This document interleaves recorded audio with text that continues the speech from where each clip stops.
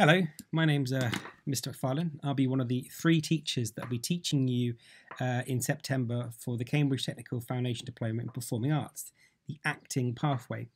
Now, before um, I start talking about um, this presentation and the work I'm setting, in the description below, you'll notice there's a link to um, a little form. It's a it's a quiz test, if you like, uh, but it's not something that I'm going to be um, marking and then using that to judge you. It's actually an opportunity for me to see what you know. Um, everyone comes to this course from different schools with different experiences, different understanding of practitioners, and different plays they've read and performed. So there's an opportunity for me to get to know you. So when you come into September, I, I can support you in a way that will ensure that you are ready to complete the course. So this is the Foundation Diploma in Performing Arts. We will do over two years, uh, seven units. And now this is the acting pathway, but there is one unit where it's not just acting, and that is Unit 4. Now, Unit 4 is a combined arts unit. Now, that means that you are taking not just one discipline, be that usually acting with other units, but actually two disciplines. Now, the two disciplines can be anything that you want to do. So it could be the obvious choice of acting and singing, or acting and dancing, or singing and dancing. Or it could be choreography, it could be directing, it could be lighting design, costume design, set design, prop design, makeup design. It could be any combination. So this is quite an exciting unit for you to be able to experiment in. So what we have to do before we can actually get practical is we have to deal with learning objective number one.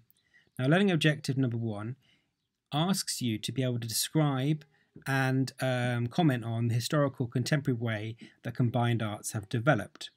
Now, we are going to do that through the history of the West End.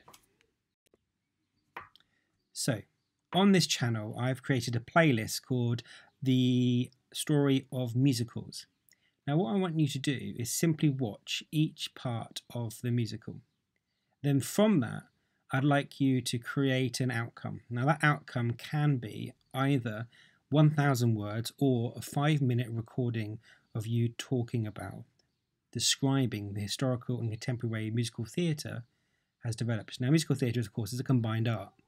It has more than one discipline on stage. So, this is a great way for us to be able to describe how it has developed.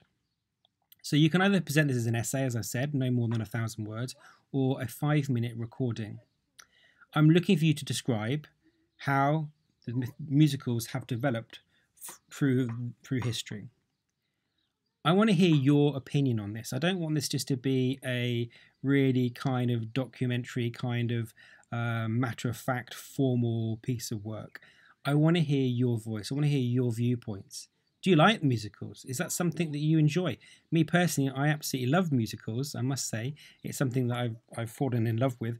However, I do find it frustrating because I saw a production of Blood Brothers recently.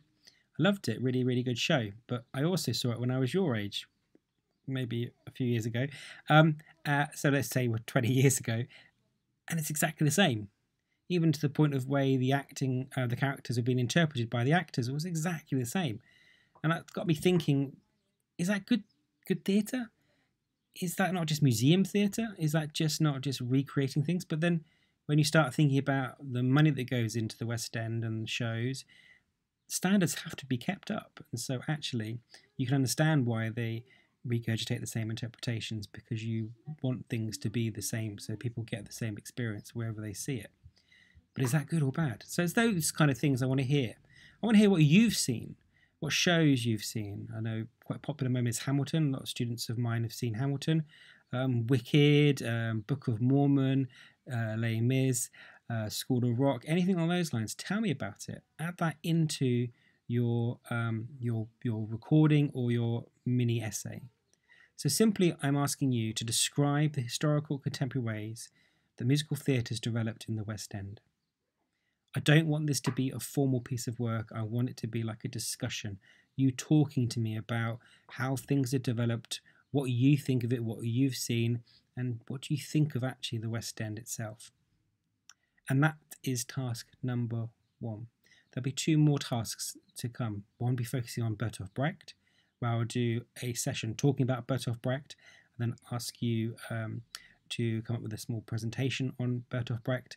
And then the third task will be getting ready to perform a monologue or soliloquy when you first start, all based on isolation. But those tasks are coming up a bit later on. If you have any questions, please get in contact. Thank you much for your time.